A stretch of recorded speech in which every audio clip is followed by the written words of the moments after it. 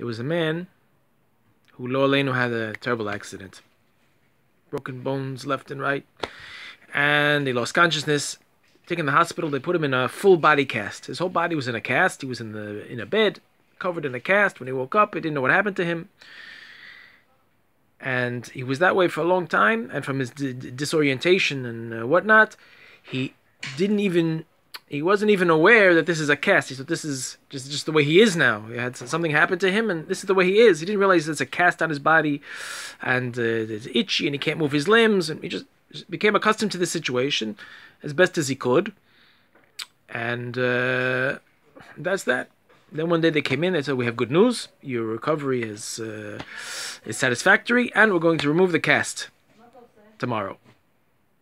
He's thinking to himself, "What what cast? What are they talking about?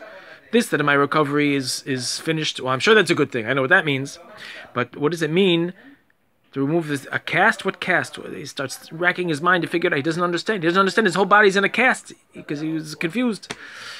The next day they come in. They have these big saws and uh, hammers and pliers and all these tools to remove the cast from his body. Oh my God, he's in terror. He's in terror. Get away from me. If he could run away, he would run. He can't run. What's he going to do? He's in terror.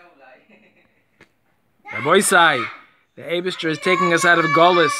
We got so used to Gullus that we think that when the walls of Gullus are falling, the walls of our own house are falling. The Abistra is taking us out of Gullus. He's going to bring us to Eretz Yisrael with the Rebbe Melech HaMashiach. Everyone should be with Simcha. About the people in the hospital, we have to say them for them. And we have to daven for them and give tzedakah for them. But the big picture, the big picture is the Abishter is taking out of us out of Golas, and we should be mamish, mamish, besimcha, benissen, nigolav, benissen, asidin ligoil. Yechi Adoneinu, Moreinu, V'Rabbeinu, Melech HaMashiach, L'olam Va'ed.